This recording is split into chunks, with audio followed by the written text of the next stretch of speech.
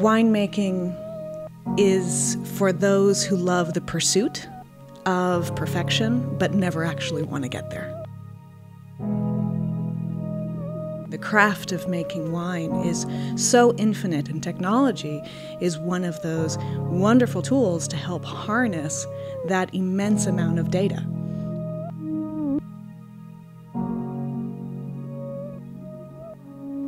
Wine has been a part of my life since the beginning.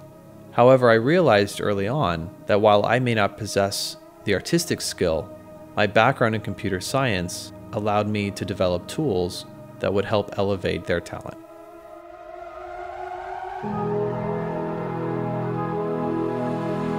Along the process of when we're making wine, it's important that the winemakers get to spend that time focusing on the things that we can't put numbers to.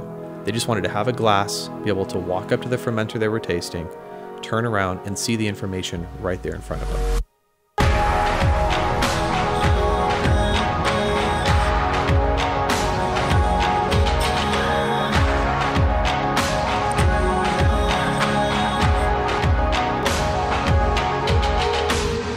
We quickly realized just how much data we were dealing with.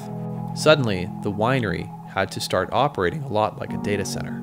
Advanced technology had to be brought in to not only handle the machine learning aspects, but also the data storage.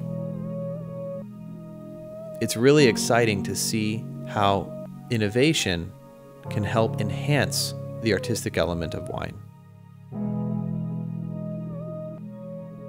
If my family doesn't come up with tools to enable us to be better stewards of the land and make better products, we're not doing our job.